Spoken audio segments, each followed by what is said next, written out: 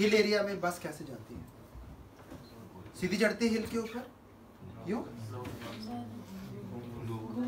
गोल गोल घूम के चढ़ बेटा, ऐसे चढ़ेगी चढ़ेगी नहीं, शायद पीछे को आ जाएगी, मुझे लग रहा है। ऊपर को चढ़ने के बजाय।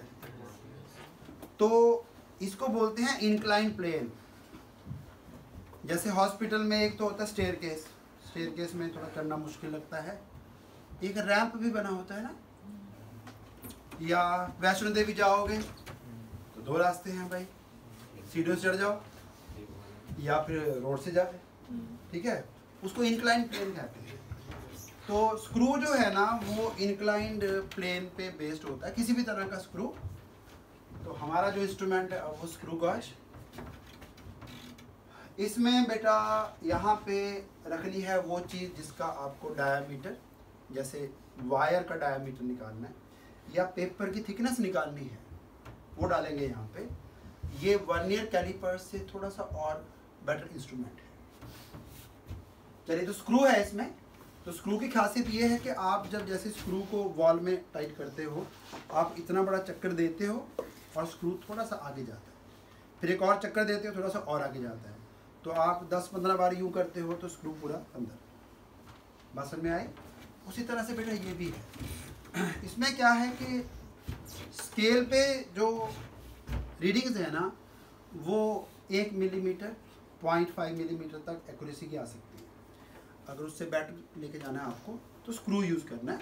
और स्क्रू के ऊपर भी एक स्केल बना देना है यहाँ पे। इसलिए नाम है स्क्रू गॉज गॉज मतलब जो मेजर कर सकता है। स्क्रू गॉज मीन जो स्क्रू पे बेस्ड है। तो इसमें यहाँ पे एक रहेगी बेटा so called linear scale main scale भी कह सकते हैं।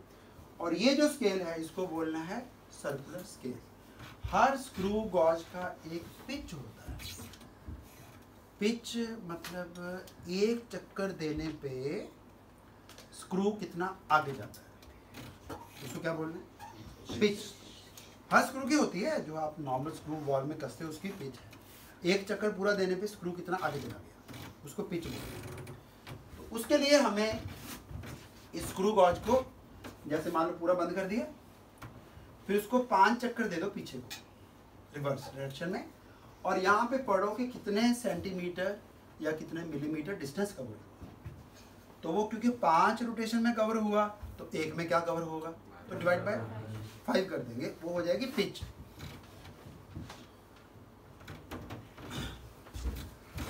ये नाम तो आपसे नहीं पूछे जाएँगे अब। इसको ज़्यादा डिटेल में जाने की ज़रूरत नहीं है।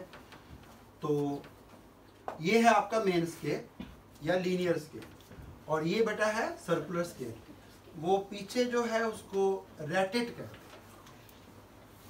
उसका काम है, इसमें ना जैसे वो साइकिल में आप पैडल मारते रहते हो पहले, फिर पैडल मारना बंद कर देते हो। बाद में टक टक टक टक की आवाज़ आती है साइकिल में।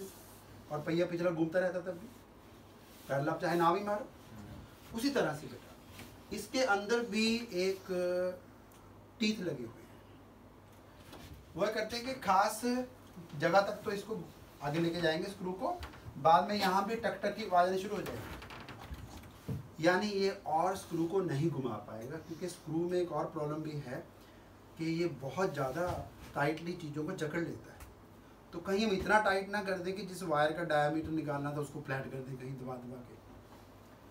तो जो प्रेशर है, वो एक लिमिट से ज़्यादा ना अप्लाई हो, इसके लिए फिर ये यूज़ करना है। तो आपने पीछे से ही हैंडल करना है इसको हमेशा। यहाँ से पकड़ना होगा दिस वन यहाँ से टाइट नहीं करना टाइट यहाँ से करना। बात समझ में आ गई? खैर एग्ज़ाम में ये नहीं आएगा। एग्ज़ाम में क्वेश्चन आएगा कि मेन स्केल ऐसी है सर्कुलर स्केल ऐसी है पिच ऐसी है। बताओ लिस्ट काउंट क्या होगा, ये वो आएगा। तो pitch is distance move by a screw during one complete rotation तो मान लो हमने इसको पाँच रोटेशन दिए पूरे पूरे। Zero one two three four five तो पाँच मिलीमीटर आगे मूव कर गया। पाँच मिलीमीटर आगे मूव कर गया पाँच रोटेशन में। तो फिर एक रोटेशन में कितना मूव करेगा? Five M M by five तो इसका जो पिच है वो वन एम एम हो गया। अब एक चक्कर देने में यहाँ पे डिविजन्स हैं, यहाँ लिखा हुआ है thirty forty fifty sixty seventy eighty hundred तक जा रहा है, ये बता। किसी किसी में लिखा हो सकता है कि फिफ्टी डिविजन्स हैं सर्कुलर स्केल यहाँ पे हंड्रेड है, कभी कभी फिफ्टी भी होती है। वो देख लेना अकॉर्डिंगली क्वेश्चन में क्या लिखा है। अब अगर मैं इसको एक रोटेशन देता हूँ एक रोटेशन में ये एक एम mm आगे गया। बट एक रोटेशन में ये वाले डिवीज़न कितने घूम गए बेटा? इस केस में? हंड्रेड तो हंड्रेड डिवीज़न में स्क्रू इधर को आया एक मिलीमीटर तो अगर मैं सिर्फ़ एक डिवीज़न घुमाऊं?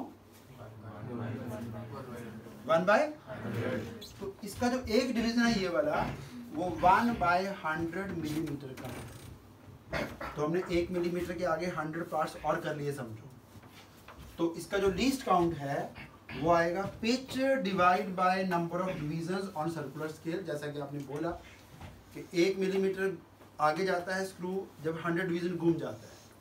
तो एक डिवीज़न घूमने से one by hundred one by hundred मतलब इसका जो लीस्ट काउंट है वो point zero one M M होगा। बेटा कोई मान लो ये डिविजन्स फिफ्टी होते।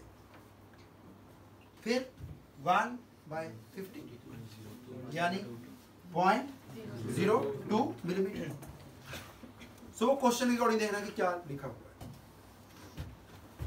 इसमें भी ज़ीरो एरर होता है बेटा। जब आपने स्क्रू को बंद करते करते करते पूरा बंद कर दिया, यानी वो जो स्पिंडल था, जो बाहर को निकल रहा था, वो आगे सामने वाले स्टड से फिट हो गया पूरा पूरा। ज़ीरो कुछ नहीं रखा हुआ इसमें अब। तो अगर तो ये ज़ीरो मेन स्केल की, जो लीनियर स्केल की लाइन है ना, उससे मैच कर गया तो कोई ज़ीरो एरर नहीं है। मान लो आप बंद कर रहे थे। ज़ीरो यहाँ पहुँचने से पहले ही रुक गया। में आ रही बेटा? ऐसे बंद कर रहे थे ना? बंद करते करते ये ज़ीरो यहाँ पहुँचना चाहिए था। यहाँ नहीं पहुँचा। कितने डिवीज़न पीछे रह गए? दो। दो डिवीज़न पीछे रह गए? ज़ीरो वन टू तो दो डिवीज़न मतलब कितने मिलीमीटर एक डिवीज़न अभी लिखा हमने पॉइंट ज़ीरो वन एम की है। तो दो डिवीज़न इसमें पॉइंट ज़ीरो टू का पॉजिटिव की नेगेटिव पॉजिटिव ज़ीरो एरर है। ये पहले खुला हुआ है थोड़ा सा दो डिवीज़न तो। खोला इधर को होता है ना।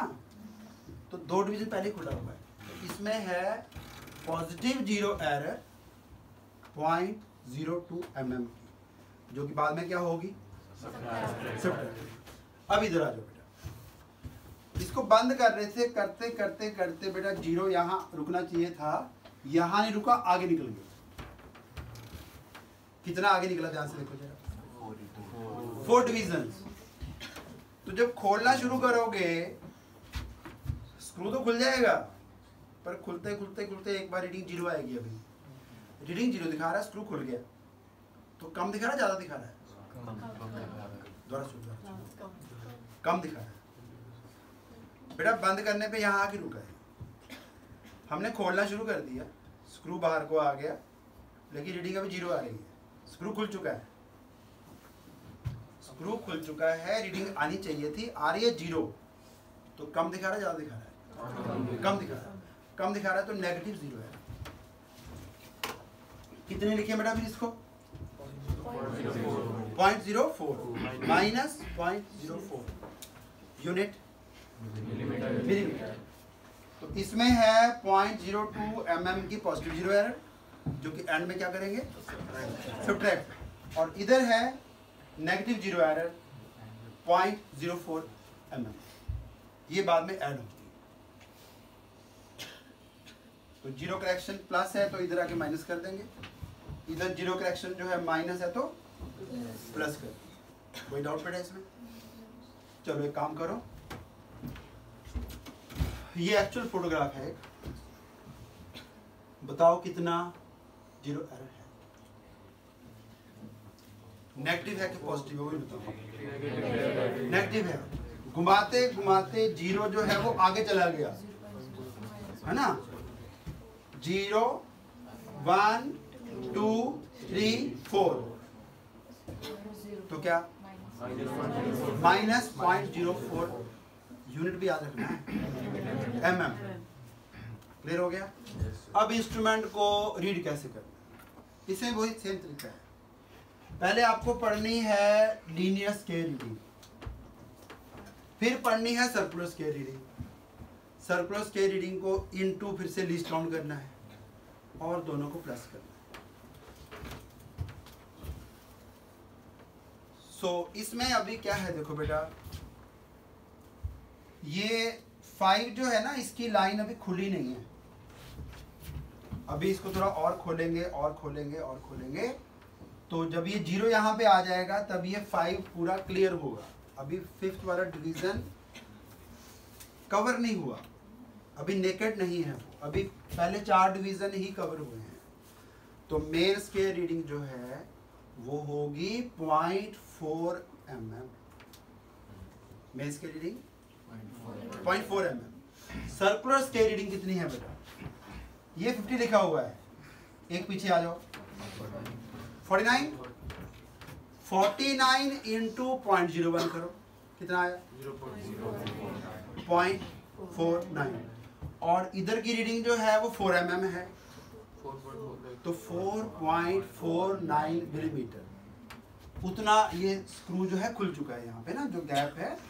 वो four point four nine millimetre बन चुका है। मिलीमीटर में है। बी केयरफुल क्लियर होगा सारा कुछ? तो अगर ज़ीरो आगे निकल गया, बंद करते टाइम तो नेगेटिव ज़ीरो है। वो प्लस करनी है। बंद करते टाइम पूरा ज़ीरो इससे मैच ही नहीं हुआ, गया ही नहीं क्रॉस ही नहीं किया इसको तो पॉजिटिव ज़ीरो है। क्लियर हो गया? पिच जो है, वो क्या थी? Distance covered by the screw in one rotation but वो निकालते टाइम हम पाँच रोटेशन दे देते हैं, या दस दे देंगे। जो डिस्टेंस कवर होगा, उसको डिवाइड बाय टेन या डिवाइड बाय फाइव पिच को डिवाइड करेंगे अगर number of division on circular scale से तो लीस्ट काउंट करेंगे। क्लियर होगा सारा कुछ?